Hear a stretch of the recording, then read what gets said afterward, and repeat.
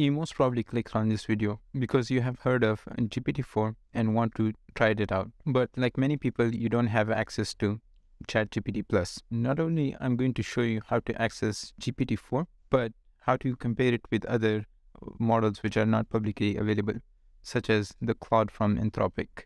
But before that, a big milestone for the channel. We just crossed 50,000 subscribers in just over two months. This is just unbelievable for me. I started this channel on January 14th, 2023, and got my first subscriber on the 18th. I'm simply blown away by the support and can't thank you enough for making this journey so special. Your comments, likes, and shares keep me motivated to bring you the best possible content. Thank you for being part of our journey, and here's to the next 50k. So, back to the video.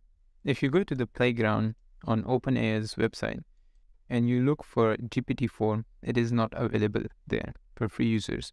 But there is a website which actually gives you access to GPT-4. It's called nat.dev. So first you need to sign up using your uh, email address and phone number. You actually need both of them. So just go ahead and sign up. Once you sign up and log in, you will see an interface like this. So they have a playground, then a compare, and then there's a link to a Discord server. So before exploring uh, the platform, a quick shout out to uh, Nat Friedman. He's actually the one who made this uh, website available to everybody. But you might want to have a look at his uh, cloud bill. Just make sure uh, you use this website responsibly and don't exploit it. It's simply for comparison of uh, different models and how their output looks like. So if you come here to the right hand side, there are a number of models available. So for example, uh, these are the open source models, then some from Hugging Face. Then for example, you have the Claude instant uh, from Anthropic or Claude 1.2. some models from Cohere uh, and then you have the OpenAI models, including uh, GPT-4. Uh, this is ChatGPT, and some other, for example, the Text DaVinci uh, 3 models as well. So you can simply type in whatever query you have. It's very similar to the OpenAI playground. Submit it, and you will get a response. But I'm really interested in comparing different models. So you can come to the, the compare tab, and then here you can select the models that you want to compare. So for example, I have selected uh, the Claude Instant uh, version 1.0. So let's say, let's remove that. Okay, so I want to select 1.2. This is ChatGPT, Claude 1.2, OpenAI. And I think they also have uh, both the Llama uh, and Alpaca models as well. So let's see, let's look at uh, check for Llama. Right, so Llama 65 billion parameter model as well. Okay.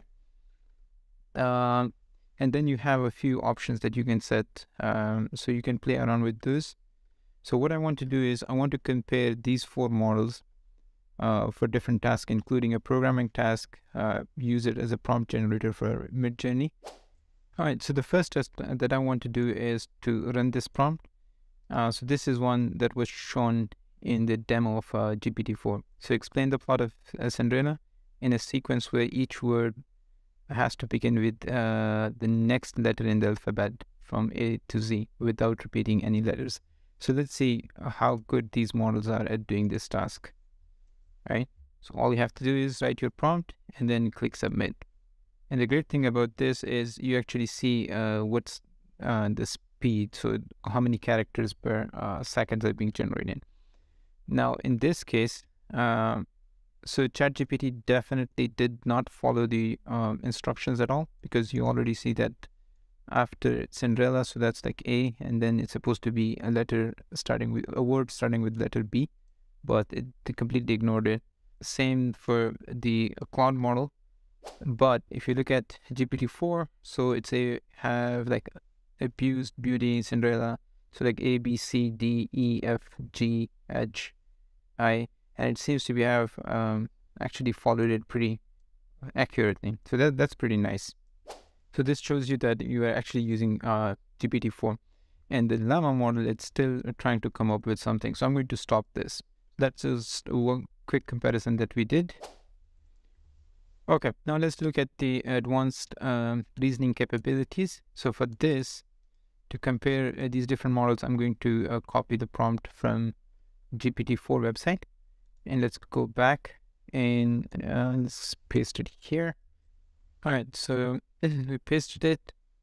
Uh, I one thing I noticed is on the website, if you simply copy something and try to paste use it control control C, it doesn't seem to be work. But okay, let's submit this, and let's see uh, what the response is. The answer is supposed to be uh, noon to twelve thirty, so that's the only time when you have all three of them free. Uh, so let's see ChatGPT. There are two possible windows within which all three participants are available noon to 12.30 okay so this is actually incorrect because uh, one of the person is not uh, free at this time. Uh, I actually did the calculation. So what does Claude says let's break it down step by step right? So uh, it's looking at the availability of everybody. Okay so it's actually able to figure this time uh, out. Okay and then here's the response from uh, uh, GPT-4 as well. So this is actually the correct answer. So it still, I think, got it wrong. But if you run it again, you might see a different answer. And uh, the Llama model uh, is still trying to process this, so it's not really coming up with anything.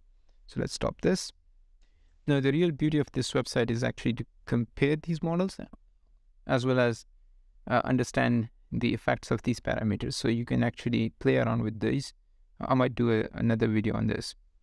Now let's see how these, you know, how good these models are at following uh, instructions in terms of if you want to create a prompt for something like Midjourney. Uh, one thing I did was I actually replaced um, the Llama model with this uh, command large X nightly uh, from Cohere. Because that wasn't doing anything at all. All right, so um, here I'm defining the structure of what a, a Midjourney prompt should look like, right? So it, it's supposed to have a subject of the image, then uh, five to seven descriptive keywords, and camera type, and uh, some other parameters that I want to look at. Uh, I found uh, the basis for this prompt of, uh, on the internet and then modified a few things in there, right? And then I'm asking it based on the above structure, generate five prompts for the following subject. So now I'm going to define this subject. Let's say uh, the subject is going to be classic cars. And one thing you might have noticed so far is uh, it doesn't have the it doesn't have the ability to converse, right? Um, so it's very different from what you uh, expect from ChatGPT, right? So here you can simply run a command and get an output because it's simply uh, a tool to compare the output from all these different models. All right, so it seems like uh, all the models have uh, generated the results. So I'm gonna uh, copy each one of them and let's see how the results look like in Midjourney. All right, just one thing to notice, uh, the Cohere uh, model actually didn't return anything. It simply rewrote the structure or formula that we gave it. ChatGPT gave us a prompt. Uh, one thing was that um, the aspect ratio I'm defining in the width to height, right? So I think I might need to actually add that dash dash uh, AR here. Okay, so let's look at the results. Okay, so here are the results. This is based on the prompt that was generated by GP, ChatGPT. The second one is based on uh, the Claude from Anthropic and the third one is based on uh, the one generated by GPT-4. So th- these all looks pretty good. Uh, the the goal of this uh, comparison was simply to look at the ability of these models um, to generate prompts for uh, AI image generators, not really to compare uh, the output results. But all three of them are able to do the task pretty nicely. You might have seen that uh, both ChatGPT and GPT-4 are able to code, so let's look at a very simple example and see what the output is going to be. So I'm asking it write a code for a website that has multiple tabs and each tab displays a random joke. Let's see well, what these models comes up with.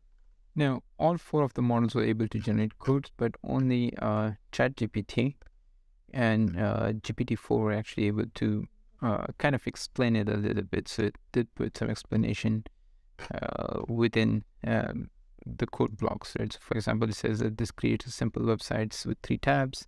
When you click on a tab, it displays a random joke from the jokes array. Okay, so let's look at actually the uh, final output of each of these code. Right, so the first website that we are looking at that is from the Cohere uh, model. Uh, it did put a couple of links, but that don't seem to be working. The next is the Claude model. Instead of tabs, it actually put three, I think, different links and simply displayed uh, all three jokes here. So it, does, it doesn't really follow the instruction that we provided. Here's a chat GPT. Uh, it did put two tabs, but the jokes are missing. and uh, GPT-4, so it actually followed all the instructions. So there are tabs. Then you have uh, one joke. If you click on tab two, so it generates uh, another joke. Tab three, uh, another joke. And if I actually um, click on these multiple times, so each time it will generate, uh, it will pick a random joke from that array of jokes that it, it has. Okay, so I selected Chat uh, GPT-4 and let's ask it what's the name of the model uh, that it is currently running. Let's see what uh. Okay, all right, good. So it knows that it's uh, GPT-4.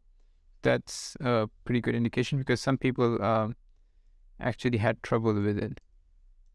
When was it last updated. Let's see. As a language, I don't have the real-time information. Please refer to OpenAI. Okay. It seems to actually remember the context. Let's see. What is the uh, cut off date in your training? You might encounter this because um, in the background it's using GPT-4 um, API. Uh, and there seems to be a limit on it uh, because of the plot that I showed you, like how much money it's costing uh, the developer. So it seems like I was wrong when I said in the in the beginning that you cannot really uh, chat with it. Uh, I think in the playground you can potentially uh, chat with it. So check it out, have fun with it, experiment with it. Hope you liked the video. Thanks for watching. See you in the next one.